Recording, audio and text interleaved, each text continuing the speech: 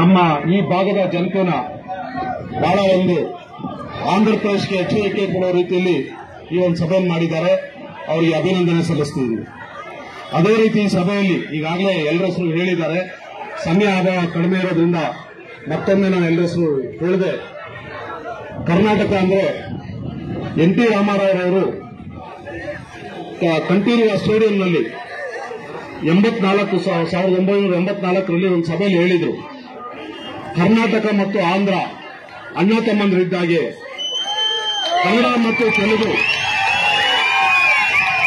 ಅಣ್ಣ ತಮ್ಮಂದರಿದ್ದಾಗೆ ಭಾಷೆ ಲಿಪಿ ಇವೆರಡೂ ಕೂಡ ಒಂದೇ ರೀತಿ ಇರ್ತದೆ. ಅದು ಕಬಡ್ಡಿ ಬಾಬಾ ಅವರು ಕೂಡ ಹೇಳ್ತಾ ಇದ್ರು. ಮತ್ತು ಇದೇ ರೀತಿ ತಮಿಳು ಮಲಯಾಳ ಲಿಪಿ ನೋಡಿ ಒಂದೇ ರೀತಿ ಇರ್ತದೆ. ನಾವು ಆಂಧ್ರ ಕರ್ನಾಟಕದ ಲಿಪಿ ನಾವು ಕನ್ನಡ ಓದಕ್ಕೆ ನನಗೆ ತೆಲುಗು ಓದಕ್ಕೆ ಬರಲ್ಲ, ಆದರೆ ಕನ್ನಡ ಓದಕ್ಕೆ ಬರೋದ್ರಿಂದ ತೆಲುಗು ಓದ್ತೀನಿ. ನಾವು ತೆಲುಗು ಓದಬಹುದು ಹಾಗಾಗಿ ಕರ್ನಾಟಕದಲ್ಲಿ ನಾವು ಆಂಧ್ರದಲ್ಲಿ ಏನು ಅನ್ಯಾಯ ಆಗಿದೆ, ಅದನ್ನು ನಾವೆಲ್ಲ ಕರ್ನಾಟಕರು ಕೂಡ ಸೇರಿ, ಇದು ಒಂದು ಭಾಷೆಗೆ ಒಂದು ಜನಾಂಗಕ್ಕೆ ಸಂಬಂಧಪಟ್ಟದ್ದಲ್ಲ. ಇದು ನ್ಯಾಯಯುತವಾಗಿ ನಾವೆಲ್ಲರೂ ಕೂಡ ಹೋರಾಟ ಮಾಡಬೇಕಂತದ್ದು ಆಂಧ್ರ ಪ್ರದೇಶದಲ್ಲಿ ಜಗನ್ಮೋಹನ್ ರೆಡ್ಡಿ ಅವನೊಬ್ಬ ಮುಖ್ಯಮಂತ್ರಿ, ಯಾಕೆಂದ್ರೆ ಅವನು ಜೈಲಿಗೆ ಹೋಗಿ ಬಂದಿದ್ದಾನೆ. ಅವನೊಬ್ಬ ಸ್ಯಾಡಿಸ್ಟ್. ಅವನು ಬೇರೆಯವ್ರನ್ನ ಜೈಲಿಗೆ ಕಳಿಸ್ಬೇಕು ಅನ್ನೋ ಆಸೆ ಪಾಪ ಇದೆ. ಜೈಲಿಗೆ ಕಳಿಸೋದ್ರಿಂದ ತೆಲುಗು ದೇಶದಿಂದ ಏನಾದ್ರೂ ಗೆಲ್ಲಲ್ಲ ಅಂತ ಅನ್ನೋ ಭ್ರಮೆ ಇದು ಖಂಡಿತವಾಗ್ಲೂ ತೆಲುಗು ದೇಶ ಬಾವುಟ ಆರೇ ಆಗ್ತದೆ ಆಂಧ್ರ ಪ್ರದೇಶದಲ್ಲಿ.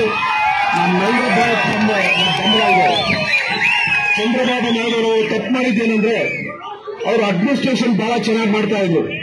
ನೋಡಿ, ಅವ್ರು ಯಾವ ಕೇಸಲ್ಲಿ ಬುಕ್ ಮಾಡಿದಾರೋ ಸ್ಕಿಲ್ ಡೆವಲಪ್ಮೆಂಟ್ ಸ್ಕಿಲ್ ಡೆವಲಪ್ಮೆಂಟ್ ಏನು ಅನ್ನೋ ಪಾಪ ಅವನಿಗೆ ಗೊತ್ತಿಲ್ಲ ಚಂದ್ರ ಜಗನ್ಮೋಹನ್ಗೆ ಆ ಚಂದ್ರಬಾಬು ನಾಯ್ಡು ಅವರ ಅಡ್ಮಿನಿಸ್ಟ್ರೇಷನ್ ಯಾವ ಮಟ್ಟಕ್ಕೆ ಭಾರತದಲ್ಲಿ ಪ್ರಸಿದ್ಧಿ ಇದೆ ಅಂತ ನಮಗೆ ಗೊತ್ತು.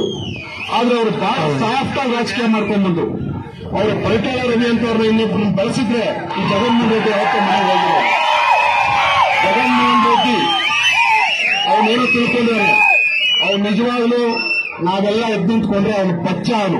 ಅವನೇನು ಮಾಡೋಕ್ಕಾಗೋದಿಲ್ಲ. ಚಂದ್ರಬಾಬು ನಾಯ್ಡು, ಲೋಕೇಶ್ ಅವರು ಧೈರ್ಯ ಕೊಡ್ತಾ ಇದ್ದಾರೆ. ಈಗ ಮುಂಚೆನೇ ಅವ್ರು ಮಾಡಿದ್ರೆ ಜಗನ್ಮೋಹನ್ ಏನು ಮಾಡಕ್ಕಾಗ್ತಿರ್ಲಿಲ್ಲ ಈಗ ನಮ್ಮವರೆಲ್ಲ ಎದ್ದಿದ್ದಾರೆ. ಸಿಂಹ ಎದ್ರೆ ಏನಾಗುತ್ತೆ ಅನ್ನೋದು ಗೊತ್ತಾಗ್ತದೆ. ಇವತ್ತು ಕರ್ನಾಟಕದಲ್ಲಿ ಎಷ್ಟು ಜೋರಾಗಿದ್ರೆ ಆಂಧ್ರ ಪ್ರದೇಶದಲ್ಲಿ ಯಾವ ರೀತಿ ಇರ್ತದೆ ಅನ್ನೋದು ನಾವು ಯೋಚಿಸಬೇಕಾಗಿದೆ. ಮುಂದೆ ಅವನು ಗೂಂಡಾಗಿರಿ. ಅವ್ರ ಚಿಕ್ಕಪ್ಪನ ಸಾಯಿಸ್ದ. ಅವ್ರ ತಂದೆಗೂ ಅವನೇ ಸಹ ಕಾರಣ ಅಂತಾರೆ.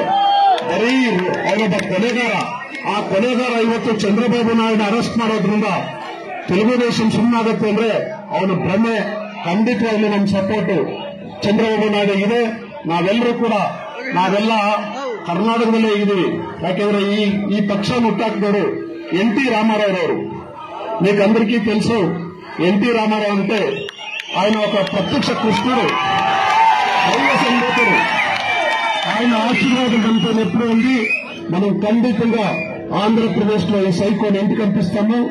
సైకిల్ మళ్ళీ తెస్తాము. జై తెలుగుదేశం.